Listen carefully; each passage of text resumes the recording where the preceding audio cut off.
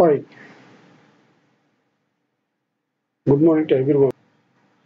When I when I try to log in, see I'm going to log in here. Say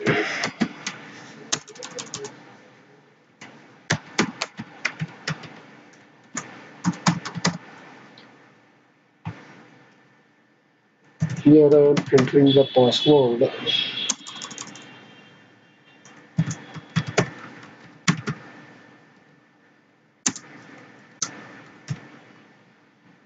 Here I am the captcha code 341918.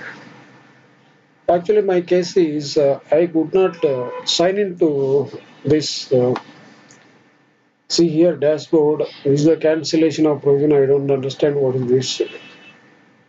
And this is here. And uh, when I go to here home, when I go to services returns, then dashboard. So like that access denied.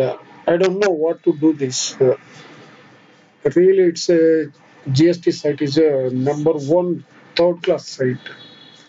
We have so many problems. See, when I contact the customer care, no one is answering. When I put a mail to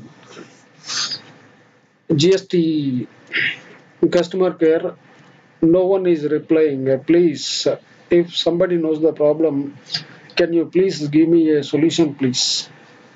Thank you in advance who are, who are giving the best solution. Thank you. Bye.